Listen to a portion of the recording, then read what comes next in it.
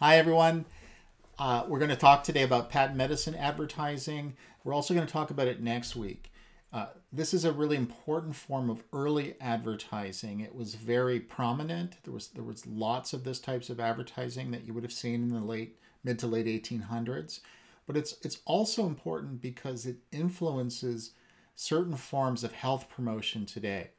And we're going to make the connections between this historical patent medicine advertising and some of the more recent day uh, kind of versions of that. All right. So before we start with the historical material, I'd like you to look at this clip I have here. It's from the, the TV show Dragon's Den, and you're, you're probably familiar with the show. Uh, it features these um, these entrepreneurs, and they financially back various pitches or, or not back pitches that come uh, on the show, people that come on the show. And what I want you to do is look at the pitch made by this particular uh, promoter for a product called NeuroConnect. Uh, and I want you to pay particular attention to the kinds of claims he makes for the product and the kinds of forms of persuasion he makes for it in terms of its effectiveness and the kind of evidence that he presents in terms of backing up those claims. All right. So look at this clip. It's about uh, 10, 15 minutes and then come back and then we'll, we'll carry on with the rest of the lecture. All right. Okay. So hopefully you're back after having seen the clip. Now here's uh, what we're going to talk now with respect to historical patent medicines. Now these uh, products sort of came on the scene uh, in the early 1800s, but really became quite prominent by the mid to late 1800s. Now, what were patent medicines? Well, these were just a variety of products that promised some kind of health benefit to the user. So these could have been things like like herbal or botanical compounds that were uh, you know put together in some kind of an ingredient mix. Sometimes they were they, they could be tonics, and that would be something that you would you would drink typically for aiding indigestion and the like. They could be various types of oils, like a like a liniment oil that you would rub on you to provide some kind of a benefit, perhaps to deal with sore muscles or something like that. Uh, they had very colorful names.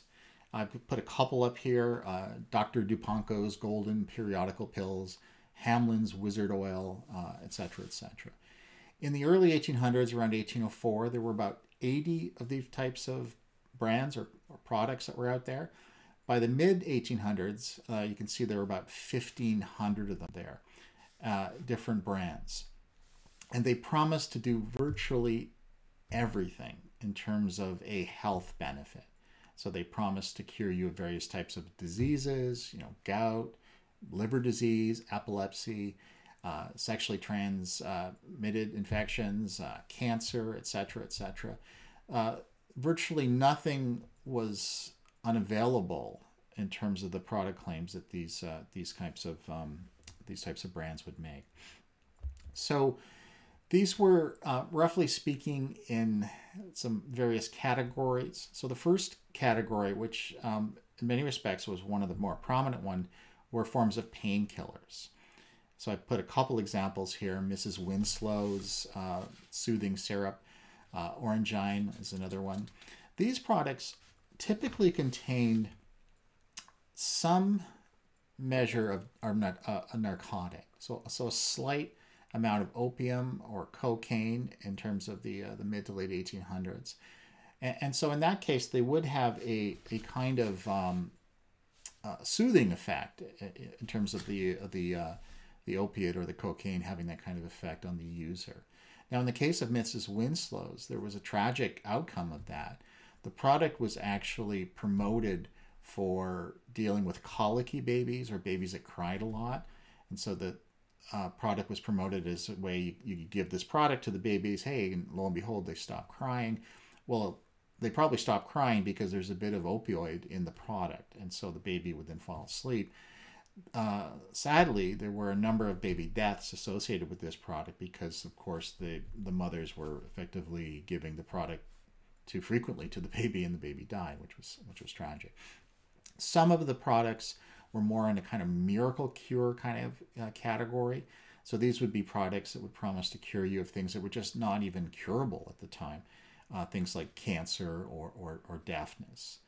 Uh, some of the products even promised to cure you of the addiction that you might have uh, developed to another patent medicine.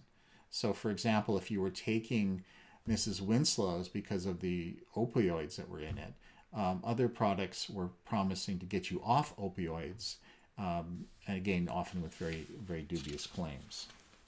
So, these products were, um, uh, as I said, they were things that you could swallow. They were things that you could um, rub on your body. But but starting in the 1860s and 70s, there was even a category of patent medicines that involved various types of products that you would apply to the body, especially products that were using electricity and what was called electrotherapy to provide a purported medicinal or health benefit. So, in keeping with the times, electricity comes on the scene in the uh, 1870s and 80s. Uh, it's seen as like almost like a miracle, um, a miracle invention at the time, right? It's the thing that can actually light lights and do all kinds of things in terms of operating appliances and the rest. So people often had a kind of wonder, awestruck initial understanding of that. And for that reason, it was also thought by some that you could may, maybe have some other types of health benefits that would come out of this.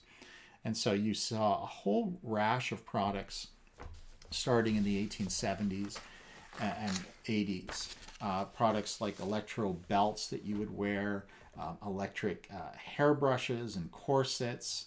These would typically have a, there'd be kind of a belt that have would have some kind of wiring in it, copper coils or zinc or whatever, possibly a, a battery that would uh, generate a small amount of electricity in the device. And these products were sold in a variety of ways for promoting and treating a variety of, of illnesses. You know, hernias, impotence, tiredness, liver disease, uh, even some for cancer. So in, in that sense, they were um, they were widely available in this period in the 1870s and 80s. But subsequent evidence or studies have shown that probably more than 99% of them were ineffective. Uh, there just was no sort of medical kind of claim or study that you could look at to show what, if any, kind of medicinal or health benefit that could have come from using these products. They were nonetheless heavily advertised. So if you picked up a, a copy of the Sears catalog in the 1880s, you would have seen many, many of these types of products uh, uh, being advertised, promoting a whole variety of, of benefits. And they these ads uh, also used um, testimonials as a form of product endorsement. These would have come in the mostly from people like doctors or supposed doctors and and actresses and other types of celebrities. We're, we're going to come back to, to testimonials um, probably more so next week as an intrinsic form, a very important form of advertising, a very important component of advertising for for patent medicines. Okay. So why were these things so popular? We saw the growth from you know a few dozen brands of patent medicines in the early 1800s to more than 1500 of them by 1860. Why why such demand for these products that are purporting to cure you of all types of health problems? Well, for one, you have to consider that illness was far more commonplace during this time period than would be the case today. That people got sick more often and they died prematurely more often than is the case today. So illness is just a kind of more common feature of society. And for that reason, of course, people are more um, they're, they're more likely to seek out remedies for things that would afflict them or ail them. The other factor to look at, and this is more specific to the United States, is that uh, the Civil War, which uh, ran from 1861 to 1865, produced a lot of fatalities and a lot of casualties during the war itself. But there were many veterans or survivors of that war that had ongoing health problems related to their time in service, right? They could have been uh, had you know gunshot wounds or something like that that didn't heal properly. There could have been other types of pain that they lived with in subsequent years because of their war experience. And so for that way, for that reason, there were just hundreds of thousands of people in the United States, it just would have been potentially um, more receptive of a product or a message that dealt with chronic pain. Uh, so there were um, like people like that that were sort of chronic pain sufferers. It was also a society where most people worked doing forms of manual labor, which was physically demanding. And so that meant that your body was put under a greater toll, and hence your body would be more likely to have aches and pains and other types of things than, say, if you were working as a teacher or an accountant or something. Um, the other uh, interesting factor here is that this was a time period as you get into the 1870s and 80s where increasingly temperance and, and prohibition is becoming more popular. And so there's more social opposition to drinking alcohol and even other types of things like cocaine use or opioids. Uh, and so, but particularly with alcohol, as, as there's more of a social stigma attached to drinking alcohol, one of the ways you could access alcohol was through patent medicines. And it was more socially acceptable to be using that product if, in fact, uh, you wanted to get some alcohol in your system. Typically, patent medicines were uh, the preservative agent in them was alcohol. So you wanted to make sure the product lasted a, a while on the shelf. And so you preserve the ingredients in alcohol. And so, for that reason, if you were just taking a few tablespoons of the product, you were probably taking in anywhere from 10 to 15 percent alcohol that was uh, that was part of the preservative agent of that. So that's um you know you could see that as a kind of acceptable form of, of drinking at a time when certain segments of society were frowning upon that. The other thing to look at is the nature of the society in terms of where people lived. Um, at this time, about 80% of Americans and Canadians, and here I'm talking about the 1870s or 80s, would have been uh, classified as rural society members or living in a rural area. So, for that reason, when you live in a rural area, you're just further away from things like maybe access to a doctor or access to some other types of medical facilities. So, you're more remote and you're more likely to look for other sources uh, of help with respect to healthcare and the rest.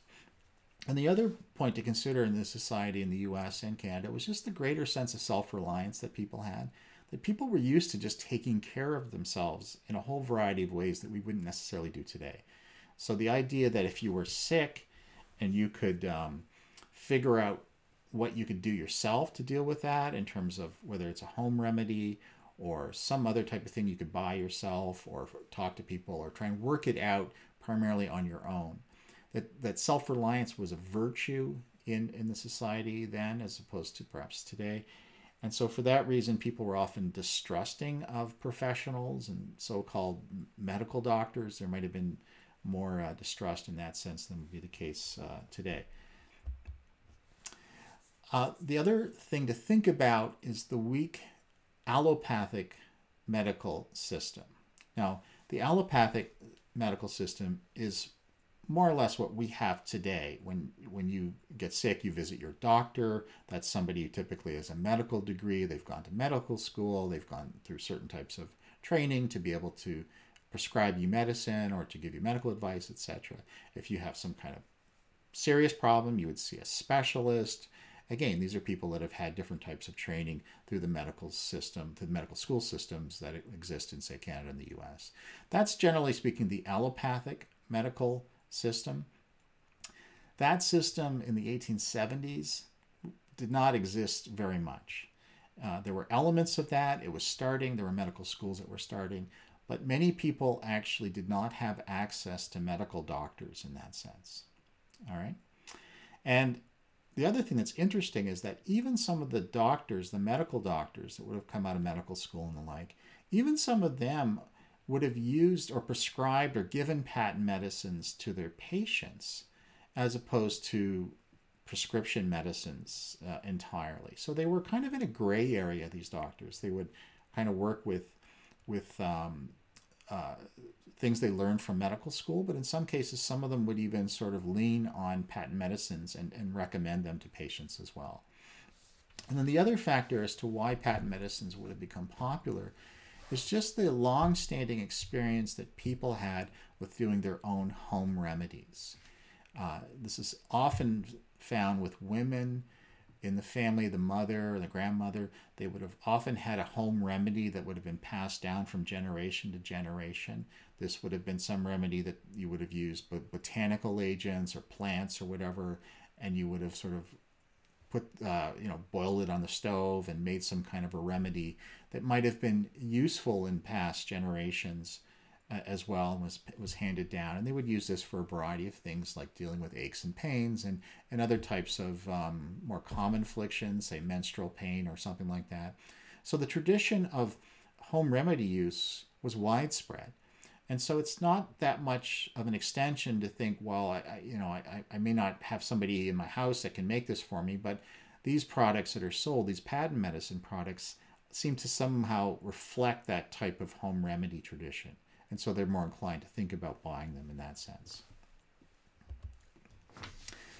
The other factor to understand is just how easy it was to start a patent medicine business or an operation there was, was something called low uh, entrance barriers. So it meant that you did not have to have a lot of money up front to start these kinds of businesses. You did not have to invest in large factories to make this product.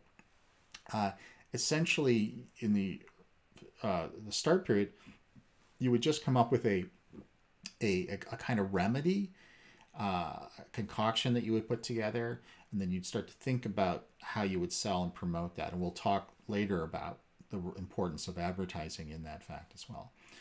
Now, when these patent medicine makers start to advertise their products, of course, there's a great uh, uh, availability of places to do that because of the uh, large increase in newspapers that are that is also happening at this time. Newspapers are opening almost every day in some of these uh, parts of the United States and Canada, and, and lots of newspaper growth and newspapers require advertising and so the patent medicine makers were able to find um, a ready source for the advertising they wanted to issue in the form of newspaper growth and then finally i think when we think about these products they should as you're going to see that some of them we look at are really kind of I mean, they make outrageous claims. They promise to cure you of cancer and deafness. And so you might think, well, why should we take them seriously? Because they were clearly trying to fool people or trying to take advantage of them, and people might have not as maybe they weren't as smart back then as they were today. We would know today not to take a product to promise a cure for cancer or something like that. And I think we, we don't want to be dismissive of, of patent medicines.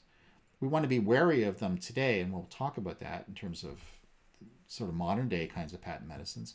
But we don't want to be dismissive of large segments of society that were taking these products. And in part because, as we're going to see, some of these types of products still linger with us today. And I just want to read you a, a little bit of a quote from an author who did some work on this, uh, historical work.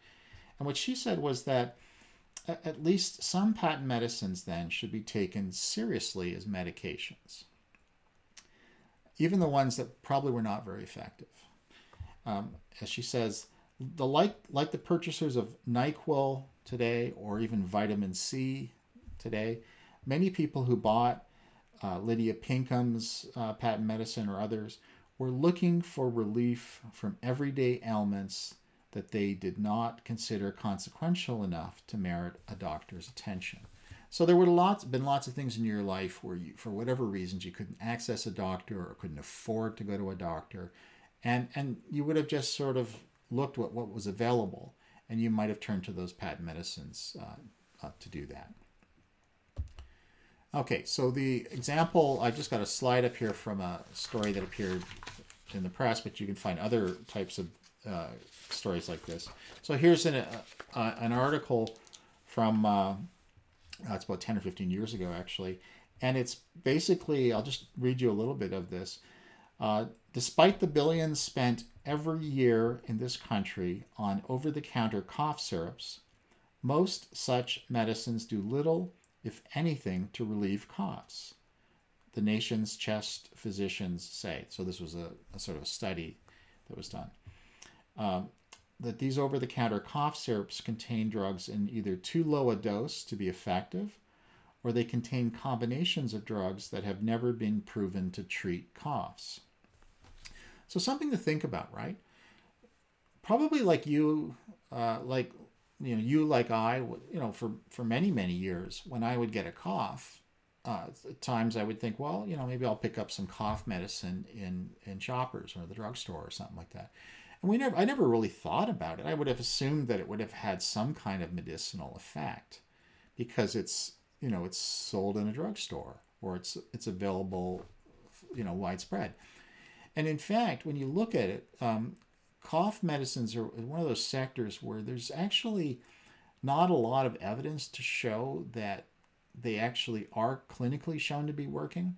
So you have to ask, well, maybe my throat feels better, my cough feels a little bit better after taking the medicine. Well, that could mean that you could be taking, I don't know, honey and hot water, and it might actually have the same effect as the so called cough medicine you could be thinking, well, I've got these cough lozenges and they, they stop my coughing. But what maybe just having another type of candy lozenge would do the same thing, right? Maybe it's just the act of sort of lubricating your throat through the candy or the lozenge is all that matters.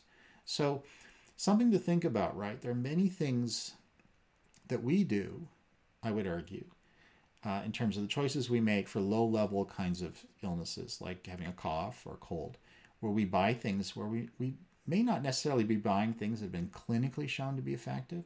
We're buying things that we think are. We're buying things that are often extensively advertised as saying that they are effective, but they may not, in fact, have a, a definite clinical benefit. I mean, I, when I say clinical, that their their benefits have been determined by clinical studies and other types of uh, scientific studies. All right.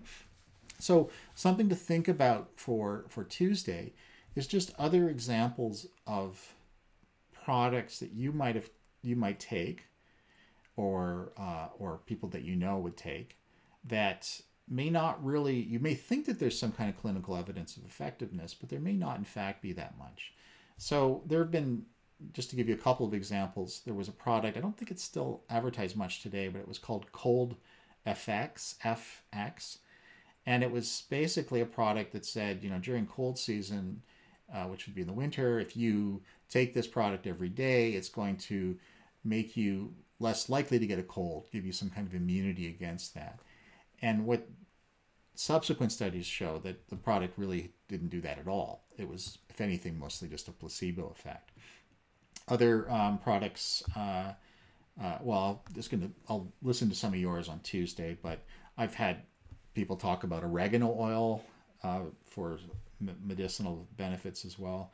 Even forms of juicing and some of the cleansing that's being done. Uh, again, not a lot of evidence showing that there's a you know profound kind of or noticeable health benefit for some of these things. So so think of the products that you encounter in your world and products that you think are performing a medicinal benefit and, and then maybe we can sort of talk about some more examples like that on, on Tuesday. Now, we looked at the uh, the NeuroConnect product on Dragon's Den. Now, what I'd like you to do is watch how this CBC show called Marketplace, how this show treats the product. And in part, they, they, they come to this product, they come to this story because of what happened on Dragon's Den. So watch this episode. It's about um, about 15 minutes. And um, I want you to pay attention to a couple things in particular. One is the um, the interview with the magician in there, and he, he says some really interesting things about um, sleight of hand and parlor tricks, and he refers to ma- magicians as as honest liars. And I want you just to think about that in terms of what we talked about last week with respect to the, the trickster tradition and, and Barnum and the rest. And I want you to also, when you're looking at this episode, to think about. Um, I think the title of it is sort of science or snake oil, and snake oil is another term for for patent medicine. Um, think about how the um, the owner of the company presents evidence for the effectiveness of his product and what he relies on when he doesn't, and take special mention of any times he uses testimonials. where he says, uh, well, my patients say this, and, and other people say this. And any instances where he's actually using individuals to give a first hand endorsement of the product in terms of what they think of it for the effectiveness. All right. So look at that episode and then uh, and then come back.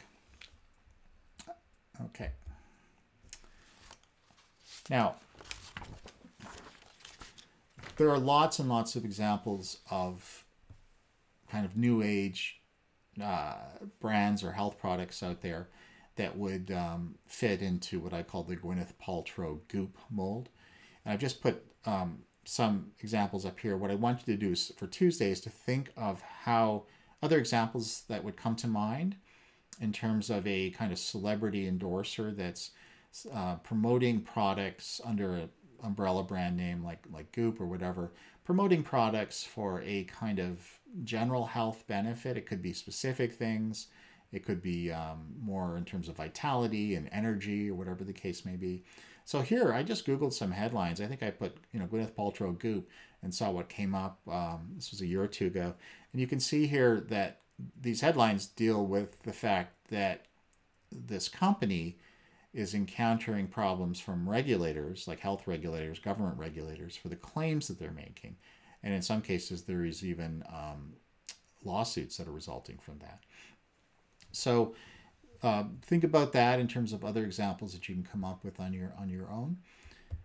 Okay, now we want to spend some time looking at the specific advertising aspects of patent medicines. So the reason why I'm talking about patent medicines is not because it's an interesting part of medical history or something. I'm talking about them because they were heavily advertised for their time. So a typical um, sales or advertising to sales ratio for patent medicines was around 40%. So what that means is say you have a patent medicine company, say you're selling these these tooth drops here in the slide, and in the f- first year you make $100,000 in sales. A patent medicine company typically then reinvests 40% of that back into advertising. So 40,000 of the 100,000 goes right back into advertising. So that's that's high. That's a very high ratio of advertising spending in relation to revenue. So if we think of today, um, prominent advertising companies like like Coca-Cola, for example, I mean their ad to um, ad to sales ratios would be in the range of 10 to 15 percent. So 40 percent is very high, and so for that reason, they they they seem to realize these companies that the way to financial success would be paved by the volume of advertising and the type of advertising you engaged in. The other thing to consider is that some of these uh, brands effectively became national advertisers. Some of these companies, they almost all started locally in a particular kind of city or an area, and then they would have expanded into the, maybe that region. But at some point, they start selling the product on a national basis so that within, say, maybe 5, 10, 20 years or whatever it is after starting, that product is now going to be available in Seattle and New York and Florida and Toronto or whatever the case may be. So these are some of the first national advertisers in the US and Canada. They're, they're doing this type of advertising even before companies like Coca-Cola and Procter and Gamble and others that we know today were doing national advertising. They were also pioneers of, of sorts in terms of branding and trademarking, especially with respect to trademarking. There was a, there was a realization that the the label you had on your uh, the packaging or the label that you had on your product had to have a particular kind of look. You would trademark that design, that that that look of the product, and and and similarly, the brand would you would try to be consistent with your your messaging for the product, and so you, there was some thinking that you were actually coming up with early forms of branding. And later we'll talk about branding in more detail in this course. There, the volume of the advertising speaks to the fact that in, in around 1860, about half of all newspaper ads in the US would have been patent medicine ads. Well, that's extraordinary in the amount, right? Um, that percentage would decline as other product sectors started to advertise more. But even still, by 1890, about a third of all advertisements in in American papers and, and probably Canadian papers um, would have been uh, patent medicine ads. So anybody reading a newspaper at this time is seeing lots and lots and lots of these ads. They're ubiquitous. Uh, they're they're readily uh, available in terms of the advertising. You would see them in other venues as well, as we'll talk about in a second. The uh, last point here, point number five, is what were called the red clause contracts between patent medicine advertisers and newspaper owners. So, what do we mean by a red clause contract? Well, it works like this: if if uh, you were a patent medicine company, and let's say you wanted to advertise in a bunch of newspapers in New York, New York State, and you would write up the contract that would say, you know, I'm going to get this amount of advertising space, we're going to spend this amount of money on on the ads, et cetera, et cetera. And then there would also be another clause, often in red ink. So why it was called the red the red clause. And that clause basically would say, in the event that a local legislature or a local government body passes legislation which is harmful to the patent medicine industry or to our company, the terms of this contract are null and void. I mean, basically, uh, we don't have to honor the, the contract anymore. Now, why would they have that you know in a straight kind of advertising contract why would you well they, they have that there because they realized especially as you get into the 1880s and 90s when there was forms of opposition to patent medicines because people were complaining that they were ineffective or that they were harmful. The patent medicine companies realized that they they did not want government to start passing regulations or laws limiting the patent medicine industry or, or putting uh, some other types of restraints on it. So they effectively got newspapers to help them with that by providing those newspapers an economic incentive, because the economic incentive for newspapers that they want to keep getting the patent medicine advertising, you provide those newspapers an economic incentive to not investigate patent medicines, to stay clear of that issue, to not do you know stories about it, to not have critical kind of pieces appear in their papers about the patent medicine industry, and then to not want to cover if governments are thinking about legislating on this issue, then the newspapers may have less of an incentive to cover that reporting as well. So those red clause contracts speak to the power of advertisers, right? The powers of advertisers to influence the reporting of different types of media, in this case, in this case, newspapers. Now, I've talked about newspaper advertising. Uh, but these uh, patent medicine ads would have appeared in many other venues as well. They would have appeared in trade cards, um, outdoor advertising, so you would have seen them on billboards. Um, almanacs were a common thing. A patent medicine company would sort of sponsor an almanac, and its advertising would appear throughout throughout the almanac.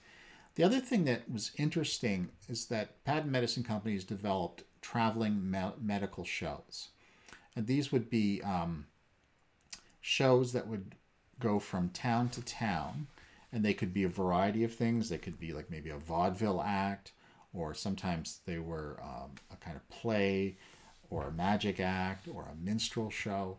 And these acts were um, uh, these traveling shows would go from town to town and often in rural areas small towns. So for many of these areas this was kind of the only entertainment they might get for a while right? Except maybe when barnum came through or something and and so there are not a lot of entertainment options. And so these shows would come in they would be well attended. But the interesting thing is that they would um, they were oftentimes free or or very uh, cheap to to enter. And but what would happen was the sponsor of the show the patent medicine company at, at various intervals in the entertainment or in the show the sponsor would stop things and would come out and talk about the product right and promote the product. And there would be kind of an intermission where this would happen, uh, sometimes two or three of them during the show. You could also, outside the show, there would be a booth set up where you could buy the product and that sort of thing.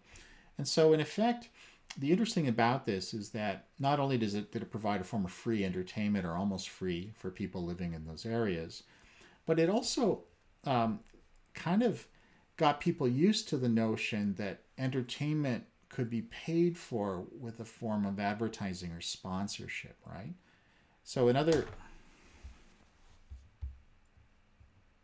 sorry. So in other types of um, other types of um, uh, entertainment. So if you let's say you went to an opera or, or you went to some, a play or something like that in New York, well, you would just pay your admission and you would go in and see the show, right? And it would be over.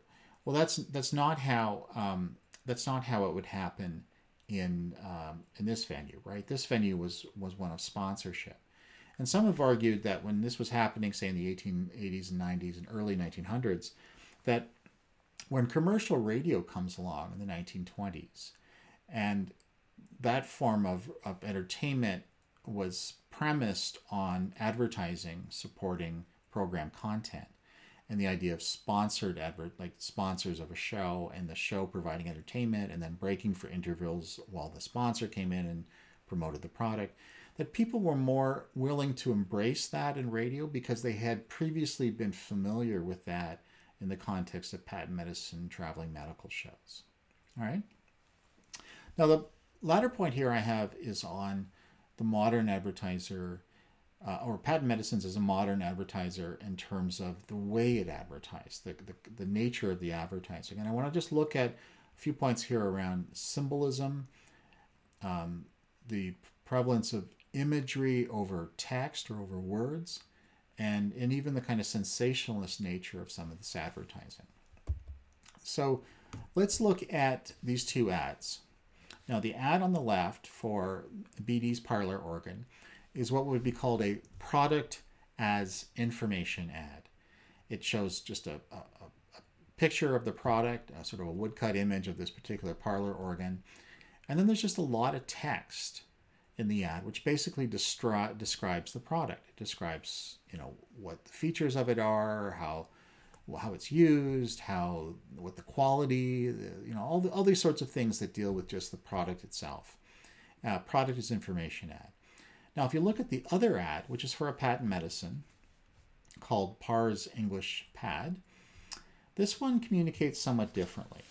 This one, in fact, the actual product is not really front and center at all, right? Um, you don't really see the product very carefully. What you see more so is a kind of form of symbolic communication for how the product works, its effectiveness, and what the product really is um, capable of doing. So in this in this ad, you see this woman who's not like a depiction of a 1880s woman. She's depicted almost of a mythical woman who's warding off the Grim Reaper. She's warding off death. And in, in the ad, you see other symbols of death. You see those those crows that are uh, down there in the middle part of the ad. You see a person who seems to be sort of dying on the ground from um, malaria, whatever the other contagious disease that the ad is referencing. And, and you see a kind of heroic figure um, warding this off, and she's sort of wrapped around her would be a sort of representation of the of the of the electric pad. Now, that's a form of symbolic communication, right? It's not a kind of direct, literal, text-based kind of rendition of what the product does and how it works and how it's effective, right? It tells it through the, it tells the story about the product's effectiveness through symbolic uh, communication, through the use of these various symbols like the Grim, the Grim Reaper and others. And in that sense, you need images to do that. You don't just rely on text. And you can see here it's a very kind of a colorful, almost over the top rendition. It's a very sensationalized depiction of this, right? In terms of using very graphic images like like the Grim Reaper. So, in this sense, patent medicine advertising would increasingly use forms of symbolic communication to convey meanings for their products and to persuade people about the merits of those products. And that's a hallmark feature of modern advertising, right? Most advertising today is not at all like that product on the left, which is just a picture of it in a bunch of text. Most advertising today speaks through symbols, through, through other, often through visual media in that sense. So patent medicines are important then because they also started to pioneer this type of advertising communication that becomes more or less a, a common feature of, of advertising throughout the 20th century. Okay, so the advertising orientation of patent medicines is uh, interesting in a couple other ways. For one, the term patent medicine. The patent did not involve patenting the ingredients of the product. Um, in fact, most patent medicine makers did not want to disclose what those ingredients were. They felt it was kind of a proprietary kind of uh, secret and they didn't want to share it. So the patenting, or more likely what the real term is trademarking, comes with the actual um, brand name and with the product design, with the pro- the packaging design and the logo that might have appeared with it. Okay, so the emphasis here is on what one critic referred to as the printer's ink on the bottle, right? The packaging and the name and the branding. And I just want to read you um, a small quote here. This is from somebody in uh, in the 1870s who's giving advice on how to get into the patent medicine industry. And he says, uh, to begin with, you need some money to be sunk in advertising. Next, you need a good advertising manager. Lastly, you need a formula. But that is of mighty small importance compared with the other two elements of the business, right? So the two main elements are advertising and then an ad, ad manager, somebody that can sort of tell you how to do the advertising and how to place it effectively. All right. Um, I want to come uh, go ahead a few decades. So now we're in the 1920s, and it's a critic of the patent medicine industry. And he writes The active ingredient in them, in the patent medicines, was not the medicine on the inside of the bottle, but the printer's ink on the outside and the still larger amount of printer's ink that was administered through the eyes of the readers of the newspapers. So, both of these people, what they're saying is that the way to understand patent medicines is through their advertising, it's through their branding, it's through the trademarking. It's not about the qualities of the ingredients inside per se. That's not really what determines success in this business. What determines success is your effectiveness as a marketer and, and primarily as an advertiser. Now, saying that, the actual ingredients were not entirely inconsequential because as I mentioned before, there was alcohol in most of them that was the preservative agent. And some of the earlier ones did have, like especially for painkillers, did have um, coca leaves and, and other, other opioid traces in them, and that so there would have been some kind of um, pharmo uh, active ingredients in that sense. Um, the thing to think about is I've talked about how these products were, were meeting demand, right? This is a society where there's lots of illness. And, and even say after the Civil War, there's lots of chronic pain sufferers as well, right? Lots of illness, lots of pain, and the rest. But these products were also good at creating demand, not just meeting demand, but creating demand as well. So that means that if you're um, uh, somebody and you experience illness around you, let's say you saw, uh, you know, your sister die of tuberculosis, or you've seen other family members get seriously ill, and the rest, it might well mean that you're, you're, you know, you're concerned that that could happen to yourself. It might mean that when you get a cough, you might be really worried about that turning into something serious like tuberculosis or whatever.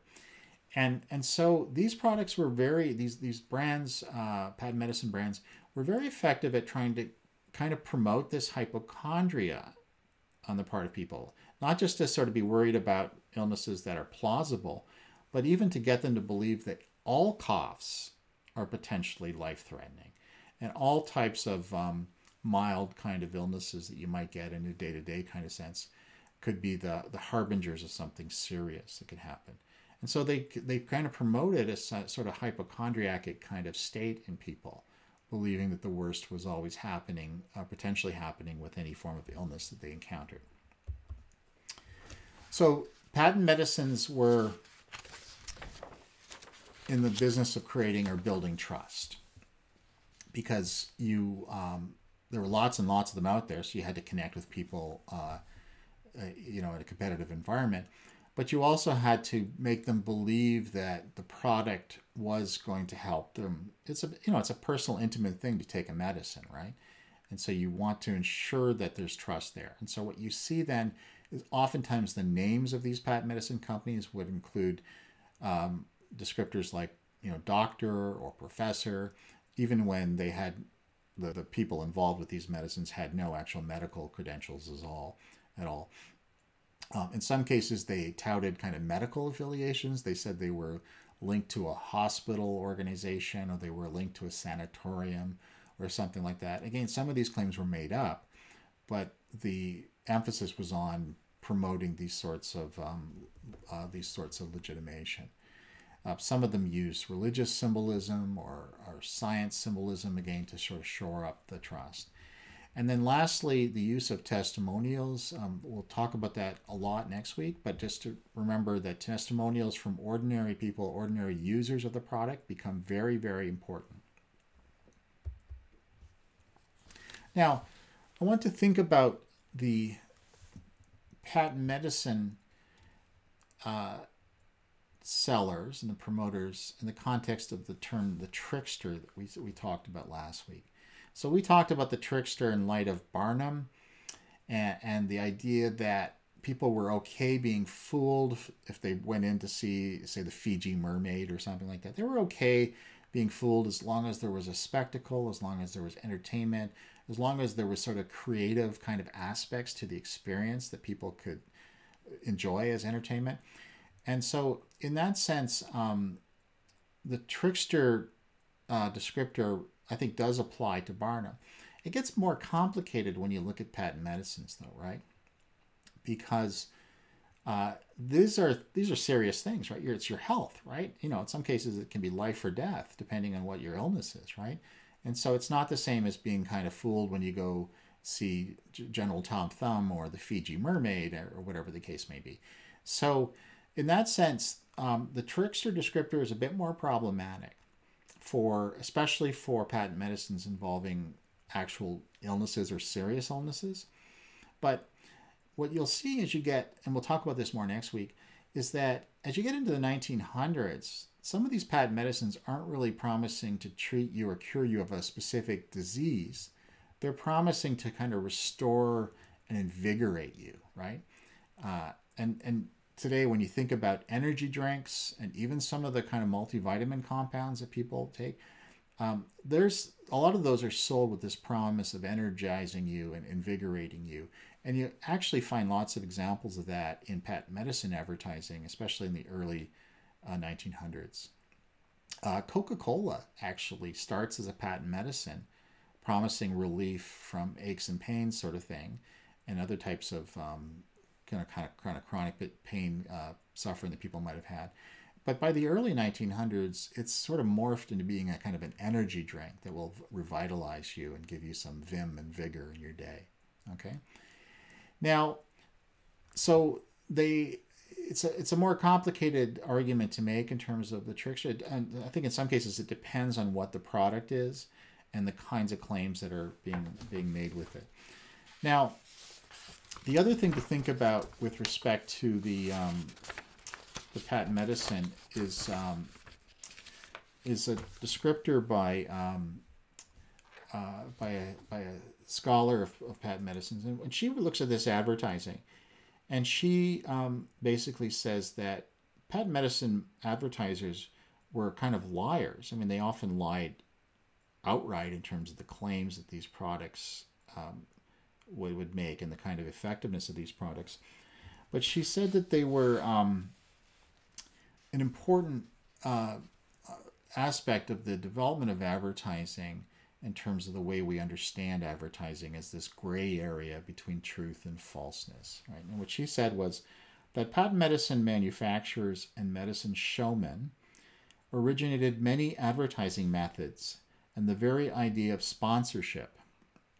Their creativity and inventiveness in the realm of marketing knew no bounds.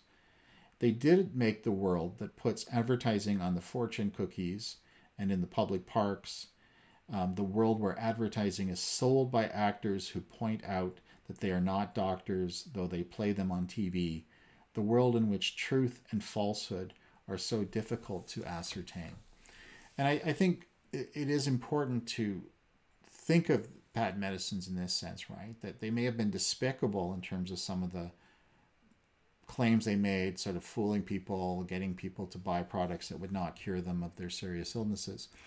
But they are part of this this tradition in advertising uh, today that makes us think of advertising as not a kind of realm of direct falsehood or direct truth telling. It's an in between kind of gray area and invokes both belief and disbelief on the part of the claims. Now, this is uh, going to just quickly deal with this figure, uh, Samuel Hopkins Adams. So he's an investigative journalist in the early 1900s. This is what's called the progressive era of American history. This is where there was a strong kind of reformist element in American society to sort of clean up politics, um, to reduce the power of big business, and, and, a number of other things. And out of this was something called the muckraker tradition or the muckraker critique. And this was often done by um, investigative journalists that would investigate uh, different social sectors and finding um, various types of uh, power abuses and the rest. And so this fellow, um, Adams, started doing investigations of the patent medicine industry in the early 1900s. And he wrote a series of articles that were published mostly in the magazine called Collier's. And, and it was um, basically exposing the industry for all kinds of things like fraud and, and the whether some some cases saying that the products, if you actually the, he got the products and tested them and found out that some of them were entirely bogus or harmless, but others were actually harmful in terms of the um, the dangerous ingredients in them. Um, he chronicled all the instances in which people got sick from these patent medicines. In some cases, they even died, like the example from Mrs. Winslow's syrup that was given to colicky babies. Um, uh, he thought of the patent medicine industry as a kind of uh, you know, a, a, blight on the nation, on the moral health of the nation as well. So he, he even documented the way that patent medicines uh, industry was that they had these red clause contracts, that they were enmeshed with newspapers, that they use their money to influence governments, etc., etc. So this was the first uh, type of systematic kind of critique of this sector of the patent medicine sector. And you will see throughout the 20th, 20th century a number other a number of other types of critiques of this industry that would happen. And, um, and and Samuel Adams was the first one. Now the question is, well, how does he do this? You know, could he? He's doing this for magazines. Wouldn't those magazines also be beholden to patent medicine advertisers for their for their revenue? And the fact is, the answer is no. Actually, that certain magazines that started in the late 1800s, early 1900s, like, like Collier's and Ladies' Home Journal and others, they actually made a, uh, a deliberate decision not to take patent medicine advertising. In some cases, it was just, be, in some cases, it was for the reasons that, that Adams sort of uncovered that it was a kind of a dubious business.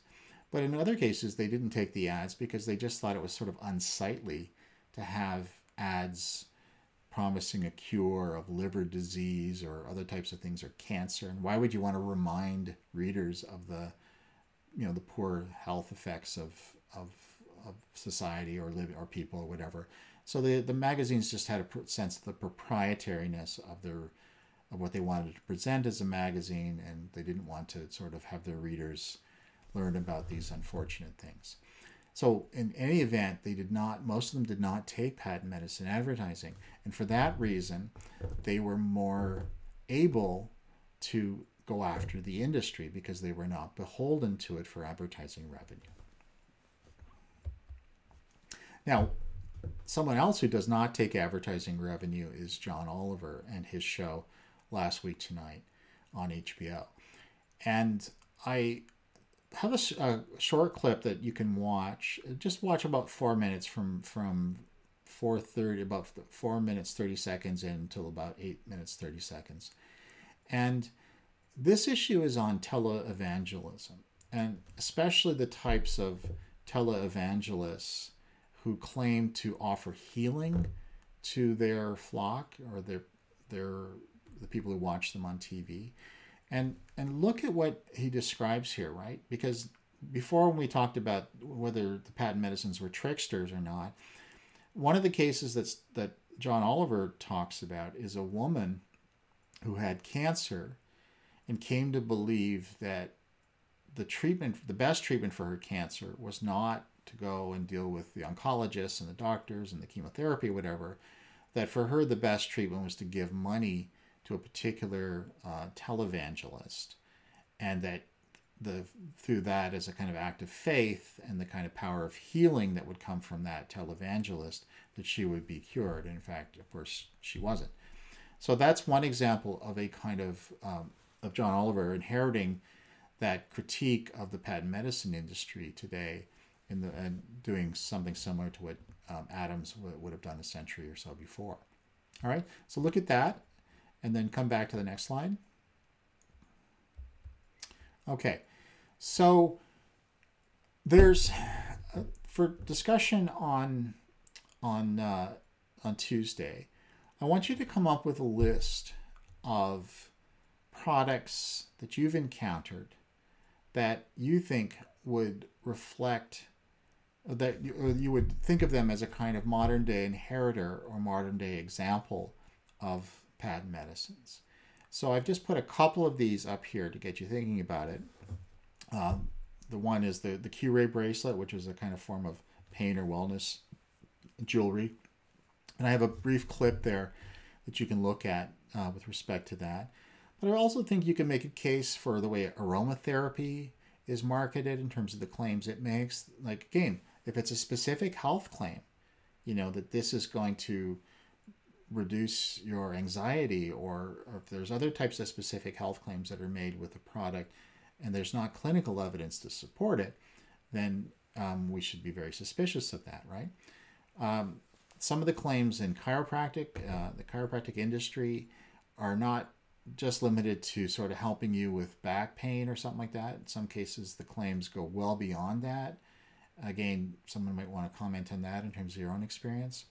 And then there's a whole host of products. I mean, if you go on YouTube and and look for patent medicine or, or sort of um, health infomercials or something like that, you'll find lots and lots of examples. I just pulled one up here, which is the clip on male enhancement uh, pills, pills that promise to make a particular part of one's body grow longer, and and the rest. I mean, these claims are are foolish in terms of the sort of scientific or medical basis for them, but you'll see lots and lots of them, right?